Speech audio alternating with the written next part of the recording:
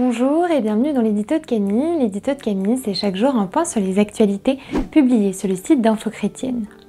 Aujourd'hui, lundi 14 juin, nous allons nous intéresser à l'histoire d'un pêcheur de homard américain qui a été avalé par une baleine. Nous tournerons ensuite vers la Chine où un pasteur et sa famille sont persécutés par le gouvernement, avant d'évoquer la catastrophe humanitaire que traverse actuellement le Myanmar. Pour finir avec l'élection d'un nouveau Premier ministre en Israël, Naftali Bennett.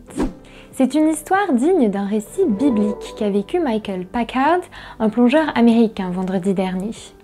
Alors qu'il pêchait le homard dans le Massachusetts au large de Provincetown, en environ 13 mètres de profondeur, l'homme a été avalé par une baleine à bosse. Après 30 longues secondes, coincé dans la bouche du cétacé, le plongeur a été recraché. Michael Packard est encore sous le choc, il s'en est toutefois sorti indemne. En Chine, la Holy Rain Covenant Church continue de subir la persécution du Parti communiste chinois. Depuis le 4 juin dernier, le pasteur Wu Wuking et sa famille sont séquestrés à leur domicile. Des gardiens ont été placés devant leur porte qui est désormais enchaînée. Sur les réseaux sociaux, l'Église rapporte que si dans les premiers jours des chrétiens habitant à proximité avaient la possibilité de leur apporter des vivres, ils n'en ont plus le droit depuis le 8 juin.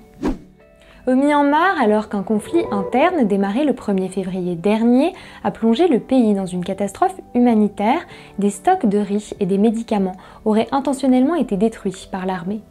Dans une lettre publiée le 11 juin, les évêques birmans plaident pour l'ouverture d'un corridor humanitaire, affirmant le droit fondamental de leurs concitoyens à la sécurité et à la nourriture.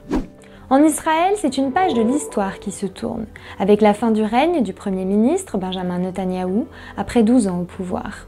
C'est une coalition hétéroclite composée de huit partis de droite, du centre, de la gauche et d'un parti arabe, et menée par Naftali Bennett et Yair Lapid, qui succèdent à l'ancien Premier ministre.